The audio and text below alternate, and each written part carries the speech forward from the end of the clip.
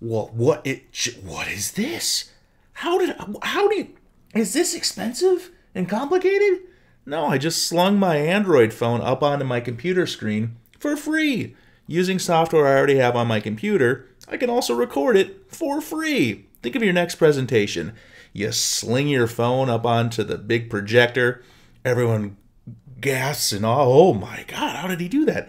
And you say, hold on a second, I'm just going to record this for our friends in Australia. I mean, think of how your life would be different if you could do that. I'm going to show you how easy, free, sling it up and record it using stuff you already have on your computer.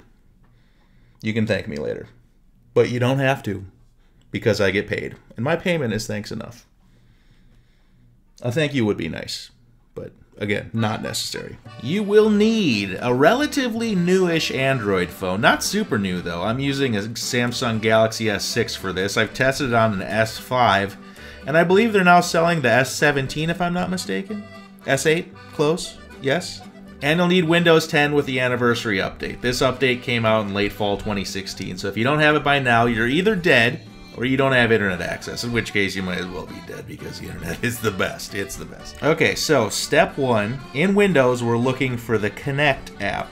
It will be in the C's.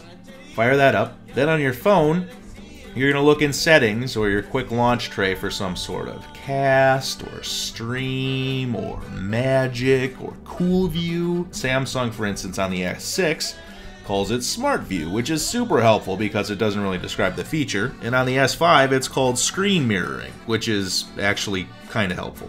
So you're going to tap that, and assuming your phone and your computer are connected to the same Wi Fi network and you've got Connect running on the computer, your phone should see it as an available device and connect to it.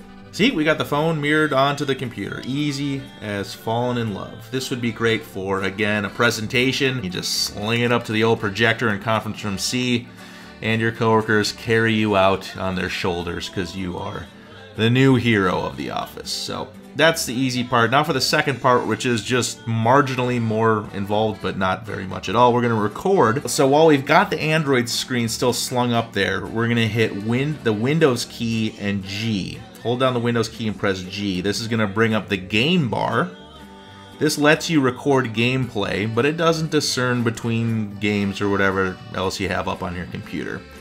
And with that, you're going to click the record button. You can also choose to record your microphone if you want to speak over whatever you're doing. And when you're done, hit the little square to stop it. And your recorded video file will be found in the videos folder of your computer under captures. That's it, all for free, all using stuff you already have on your computer, all now with the adulation of your coworkers. Dare I say respect. They may respect you after this. Again, no need to thank me for your life markedly improving because of you spending a couple minutes on the internet watching a video. no need.